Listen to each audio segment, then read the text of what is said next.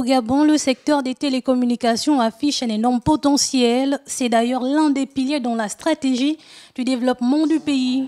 Pour booster ce secteur stratégique, des investissements ont d'ailleurs vu le jour avec l'implication des PME gabonaises. On a une douzaine de PME gabonaises qui sont nos sous-traitants pour la fibre optique et qui créent de, l'emploi, qui étaient formés sur le tas à travers un partenariat avec l'EMPETIC où nous avons euh, offert un laboratoire de fibre optique à, à pour qu'ils puissent former ces techniciens sur le métier de fibre optique.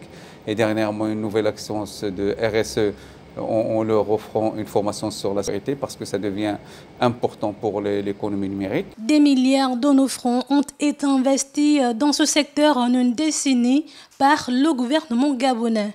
Un investissement colossal pour que le pays soit encore plus compétitif. Le secteur télécommunications, c'est un secteur qui évolue très vite il évolue en termes technologiques.